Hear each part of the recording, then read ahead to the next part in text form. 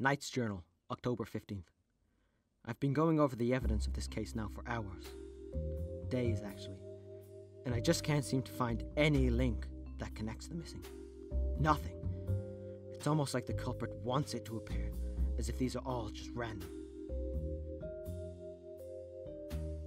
Now, I've been in this game for a long time, and I can tell you this for a fact. There is nothing random about these people going missing. Oh no. Someone wanted to make these people disappear, and they've gone to great lengths to make it appear as if they've just simply vanished without a trace. I've been here a few nights now. The first thing I'd done when I got here was meet up with the chief superintendent in a tucked away little cafe in the town. He was in civilian clothing, so he clearly doesn't want to make people panic even more. He was tense and on edge. I don't suspect anything from him. He just looks scared and confused as everyone else. I don't think he's fit for the position of chief superintendent. He's given me everything he has on the case, and it's all the same from the locals. About a month ago, people just started to go missing. Now keep in mind, Middlesbrough's a town in northeast England. It's not a big city. Shit like this just doesn't happen out here. Not without a motive, anyway. The only link I can seem to put together is that all the missing persons are male. Could that mean something? Or am I just getting desperate now for a development?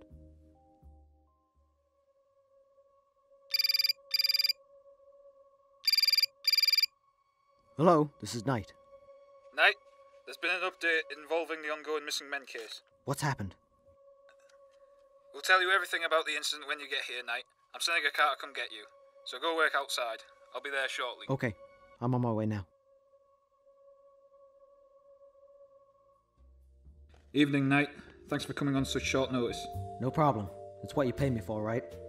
So, what do we got? So, about 45 minutes ago, the bar owner said he heard something come into the bar and start talking with Matthews. He says he couldn't really hear what they were saying, but the other person sounded like a woman.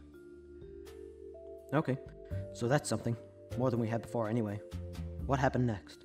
The bar owner carried on with his usual duties, and then he suddenly heard a ruckus downstairs, followed by some shouting, and then the door slammed shut.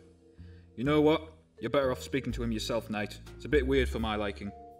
Will do, Chief. Evening, fella. I take it you're the bar owner? Yeah, that's me. Okay.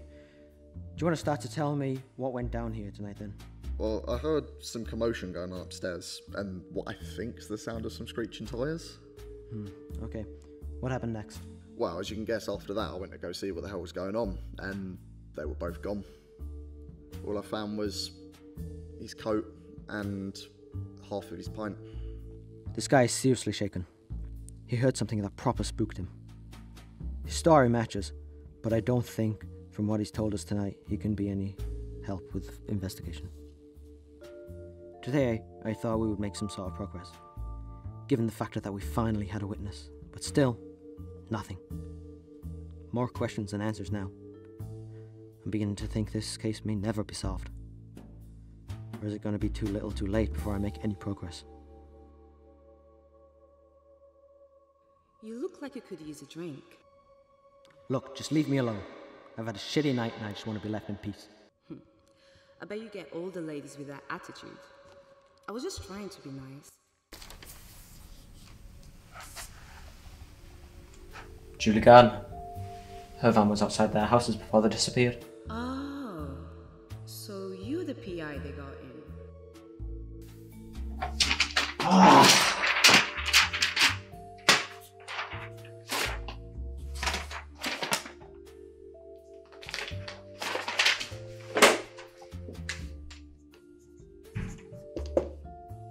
I gotta tell the chief.